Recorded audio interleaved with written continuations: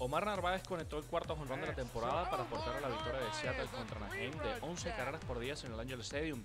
El receptor dio el batazo en el séptimo inning y con dos en circulación para en ese momento ampliar la ventaja de Seattle a 10 por 2. Narváez terminó de 4-3 con 4 remolcadas, 3 anotadas y par de boletos.